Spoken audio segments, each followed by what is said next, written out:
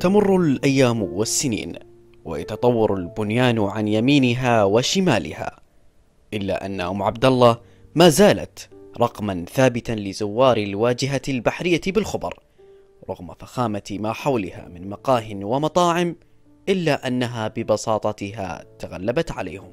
بديت يا طويل العمر فيها زي ما قلت لك هي معانا سبنا المعاناة على حالها وبدينا ومتخوفة يعني من الناس. ولكن كان المجتمع الذي معي في هذا الوضع.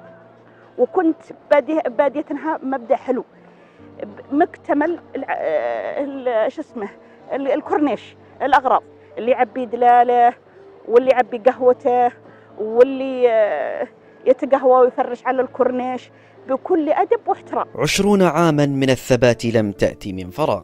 فإصرارها على العمل خلق من ظروف الحياة الصعبة التي أجبرتها للعمل والتربية وتحمل ما لا يتحمله إلا قلب أم فلم يهدأ لها بالا حتى اشتد قوام فلذات كبدها. أعمارهم اللي من خمس سنوات ست سنوات عشر سنة يوم بديتي والله نصغر مع بعضهم. والحين صاروا كبار والله والأغلبية هم البنات يعني ما عندي إلا الولدين.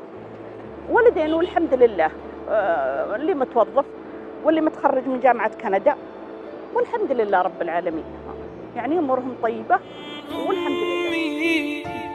ثم أمي لحد آخر يوم في عمري حب من أول حياة وهم همي اللي كتر خيرها داب خيرها في دمي وعايش بيه أمي.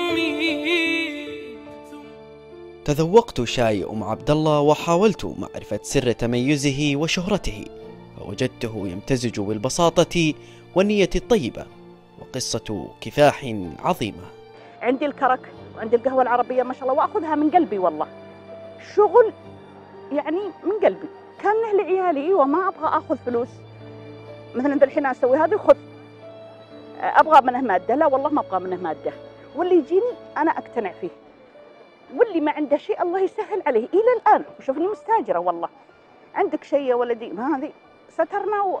سترنا ما واجهنا. أم عبد الله ليست بائعة شاي وحسب بل هي إحدى معالم الواجهة البحرية بالخبر. فشهرتها تجاوزت حدود المنطقة. للإخبارية عبد الله الشهري. الخبر.